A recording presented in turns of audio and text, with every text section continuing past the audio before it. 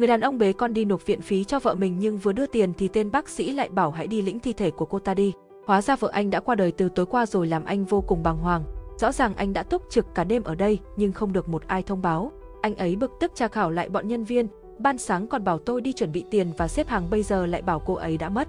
Con gái nhỏ của tôi còn không kịp được nhìn mặt mẹ nó lần cuối. Tên nhân viên thì lại vô trách nhiệm nói đây không phải việc của hắn. Nếu mà báo trước thì chắc gì anh đã chịu nộp tiền cho chúng.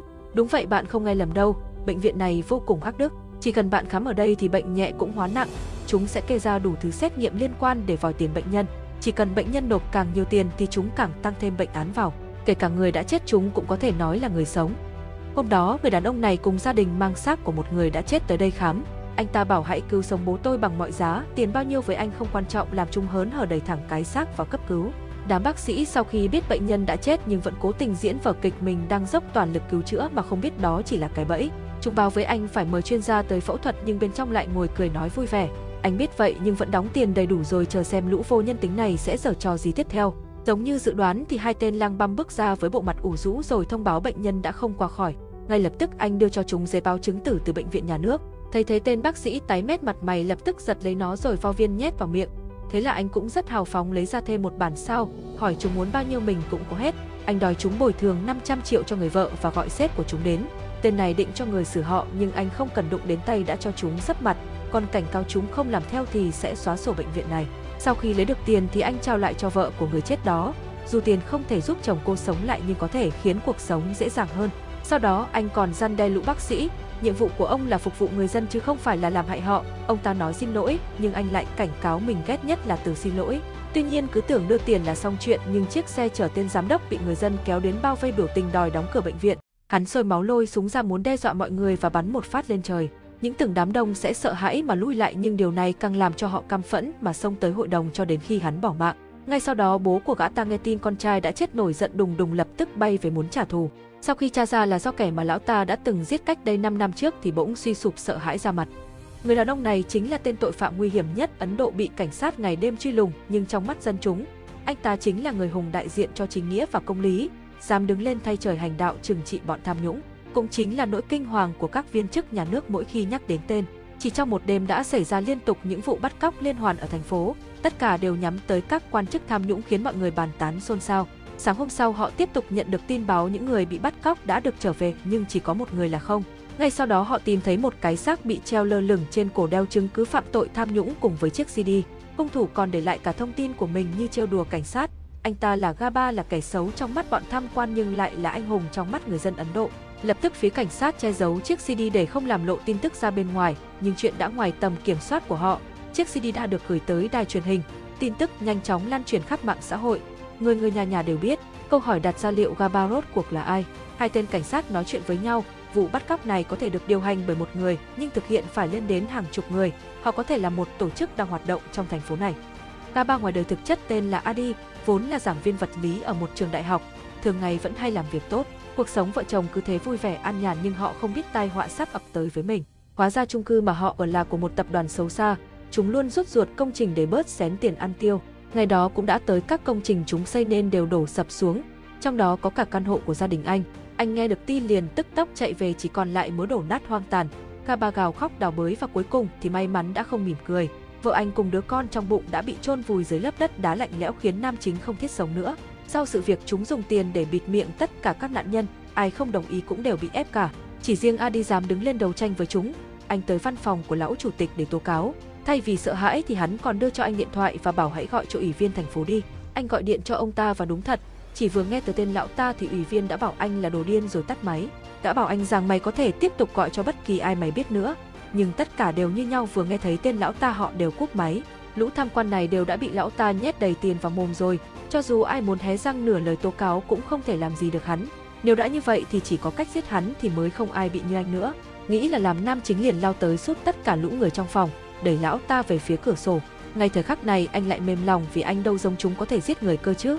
Cũng vì sai lầm đó mà hắn đã đánh lén anh từ phía sau khiến nam chính ngã gục. Lão ta nhẫn tâm cho người ném anh ra cánh đồng hoang vu, nhưng may mắn thay vô tình có một chiếc xe đi lạc tới đây. Họ tìm thấy anh đúng vào khi anh chỉ còn hơi thở yếu đuối cuối cùng và cứu sống anh. Chiếc xe đó là của những sinh viên đi du lịch ngang qua. Sau khi khỏe lại anh truyền đạt hết những gì mình biết cho các sinh viên. Cũng ngay giây phút này anh đổi tên thành Gaba và tạo lên một tổ chức cùng chi hướng sát lùng bọn tham quan với mình, cùng nhau tiêu diệt lũ mọi dân hại nước đầy cam phẫn. Mỗi lần hành động đều để lại một CD chứa thông tin phạm tội của kẻ bị giết. Trước khi hành động thì đội của anh luôn thông báo tên của kẻ tiếp theo sẽ bị xử tử. Và đúng như những gì Gaba nói thì những kẻ đầu tiên đều đã bị giết treo thị tội trước công chúng. Điều này làm cho bọn tham quan càng ngày càng sợ hãi hơn bao giờ hết. Chúng xếp hàng chen lấn nhau xin được vào tù, còn kể lể rằng tội của tôi nặng hơn. Đồn cảnh sát cứ như một cái chợ xin được vào tù, trải dài hàng trăm ngàn lá đơn và bằng chứng tự thú ăn hối lộ. Bên này thì khai tôi đã ăn hối lộ cả nửa đời nay, tôi thì lại ăn chặn tới 50 tỷ, có kẻ còn ăn cả trên cái chết của người khác. Bởi vì những người bị giết và bắt cóc đều là bọn sâu mọt đất nước nên người dân tất cả đều tung hô và ủng hộ Gaba. Họ còn tung hô anh là người hùng Ấn Độ không áo choàng. Điều này khiến các tên quan chức còn lại không dám liều mà ăn hối lộ nữa, càng ảnh hưởng tới công việc làm ăn của lão chủ tịch hơn, vì giờ đây không còn ai để hắn nương nhờ nữa rồi. Nếu tên anh hùng đó bắt được 10 thằng ăn hối lộ thì tao cũng sẽ bắt 10 kẻ liêm chính nhất. Lão ta nhẫn tâm suốt họ từ trên cao xuống như để thách thức ngược lại Gaba. Điều này cũng làm nam chính tức giận thề sẽ khiến hắn ta phải trả giá. Cảnh sát mời về một thanh tra giỏi để quyết tâm bắt được Gaba nhưng bọn họ đến cuối cùng cũng chỉ là thùng rỗng kêu to. Năm lần bảy lượt lập kế hoạch, nhưng đến bây giờ đến tên thật của anh là gì cũng chưa biết. Nhưng chỉ có ba hu anh chàng cảnh sát liêm chính tìm ra được sự thật. Cũng vì quá trung thực mà không được trọng dụng còn bị ép đi làm tài xế xe. Ba Hu đưa kế sách của mình cho cấp trên nhưng họ sao có thể tin một thằng lái xe quèn. Anh cũng chỉ lủi thủi về nhà tự điều tra một mình mà thôi. K3 có thể tìm ra thông tin bọn tham quan kia ắt hẳn là có tay trong cung cấp thông tin. Anh nhờ mối quan hệ của mình mà đã tìm ra thông tin nhóm người kia đều học cùng trường đại học. Chắc hẳn anh ta cũng từ ngôi trường này mà ra, cuối cùng thì cũng có ít manh mối. Lần này Ba Hu quyết tâm phản kháng và nói ra ý kiến của mình. Cậu đưa ra danh sách của mình và giúp họ giải quyết được tới 90% vụ án. Tất cả kéo tới trường đại học quốc gia nhưng sinh viên không cho phép bất cứ cảnh sát nào tới đây, cho nên họ sẽ bắt từng người trong danh sách của Ba Hu. Sau khi cho người bắt các sinh viên lại, chúng tra hỏi thậm chí là đánh đập nhưng cũng không có tác dụng gì. Cha mẹ của họ khi tới thăm không những khuyên con hãy mau khai ra để được thả, ngược lại một người mẹ còn nói nếu con dám nói ra nửa lời thì cứ coi như mẹ đã chết. Cảnh sát cũng đến phát điên lên không hiểu người dân vì cái gì lại tôn sùng và bảo vệ một tên tội phạm như Gaba, mà chúng nào đâu hay biết tại vì những tên cảnh sát ăn hối lộ như mình đã khiến dân chúng mất hết niềm tin vào pháp luật, bởi pháp luật đã không làm tròn trách nhiệm của mình, đã không bảo vệ được quyền lợi của dân nên cần có người khác ra tay và đó chính là Gaba.